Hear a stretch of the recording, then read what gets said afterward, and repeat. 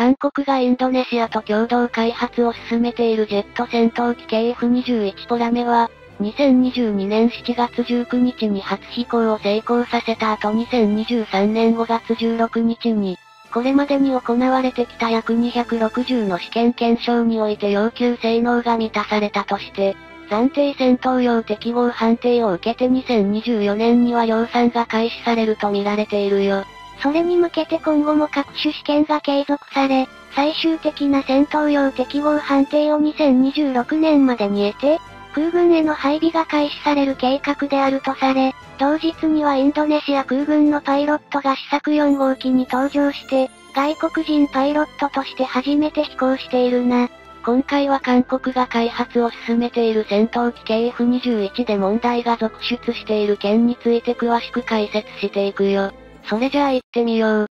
ゆっくりしていってね。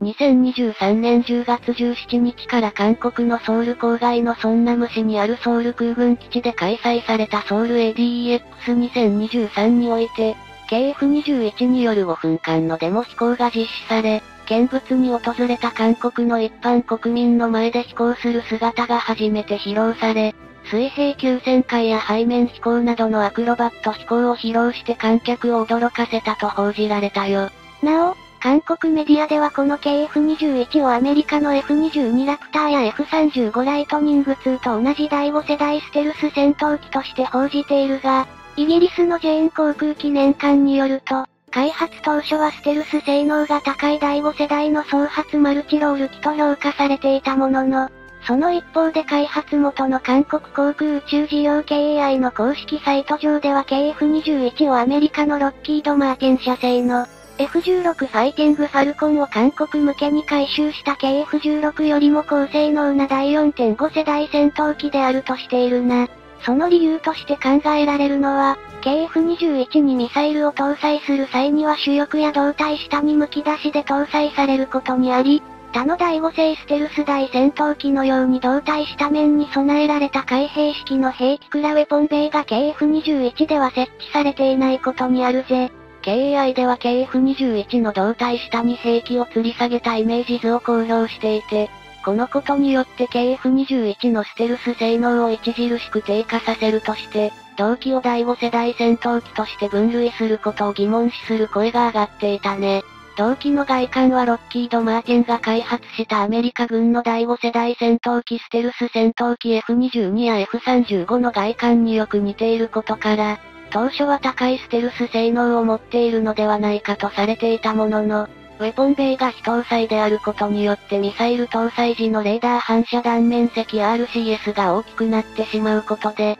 KAI では同期を第4.5世代戦闘機と称するより他なかったのではないかとの見方が出ているというよ。このように間もなく量産が開始され、実用化が近いとされている KF21 について2024年1月、開発を進めている KAI にインドネシアから派遣されていた技術者2人が開発関連の機密資料を社外に持ち出そうとして摘発されたことが報道されたんだ。2月2日に韓国防衛事業庁が明らかにしたところによると、二人のインドネシア人技術者は先月、KF21 関連の資料約6000件を USB メモリーに記録して外部に持ち出そうとしたけど、彼らが KAI の外に出ていく過程でその行為が発見されて摘発されたために持ち出しは未遂に終わったみたい。キョンナム警察庁安保捜査課は1月14日から15日にかけてキョンナム涙川にある KAI の事務室に対して家宅捜索を実施して、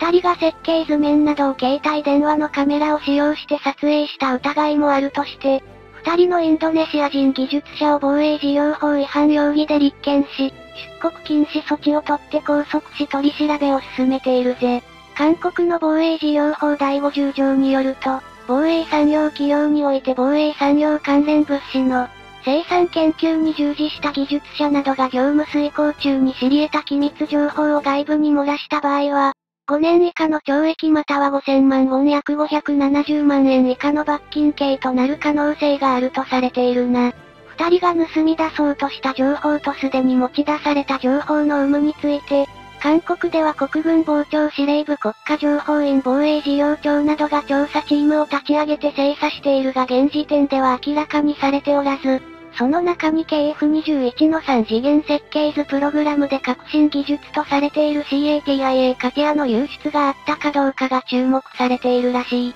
KF21 は韓国空軍が運用している FA50 に次ぐ国産のジェット戦闘機として計画されたよ。2001年3月の韓国空軍士官学校卒業式において当時の近代中大統領により開発計画が発表されて KAI によって開発されることが決定され、総事業費は開発費8兆5000億ウォン約8500億円に加え、量産費9兆6000億ウォンと合わせて総額18兆1000億ウォン約1兆8000億円の予算が計上されているんだ。その後 KF21 の開発計画にインドネシアも参画することが決定されて開発費を分担することとなり、2016年に韓国政府が60%、KAI が20%、インドネシアが20%とすることが決まったってわけ。インドネシアは約13億ドルを支払って最大で48機の KF21 を取得するほか、製造技術移転を受けて自国でも生産する予定であったが、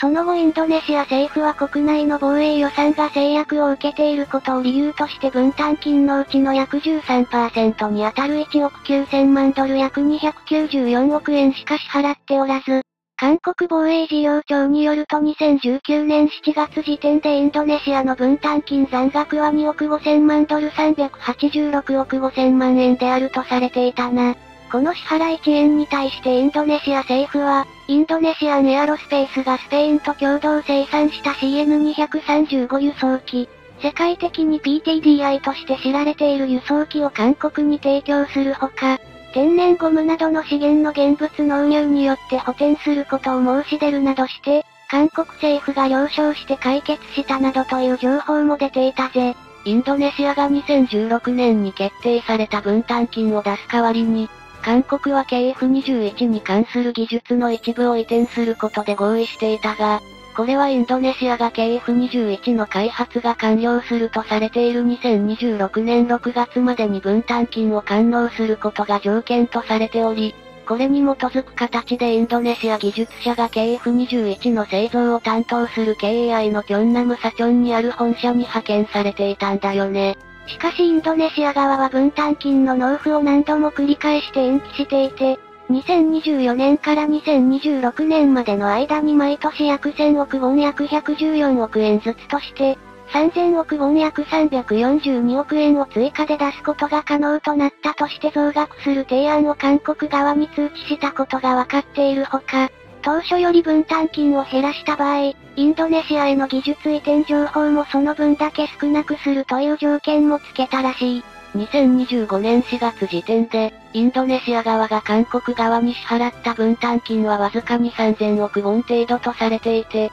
分担金を減額した場合には最終的に6000億ウォン約680億円だけを支払う形になるみたい。韓国防衛事業庁の関係者が中央日報に語ったとされているところによるとインドネシアから減額の提案があったのは事実だけど、我々はまだ最終決定を出していないとして、現時点では減額案をめぐって検討中であると述べたとしているね。韓国とインドネシアは2021年にも分担金をめぐる協議を実施していて、2年ぶりにまた分担金調整交渉に入ったとみられ、一部のメディアの読みでは早ければ2024年5月末に交渉が終わるとする見方も出ているよ。その交渉の中でインドネシア側は2023年末に、分担金の納付期限を2026年からさらに8年伸ばして、2034年まで毎年1100億ウォン約125億円を支払うとする提案を韓国側に伝えたとされているが、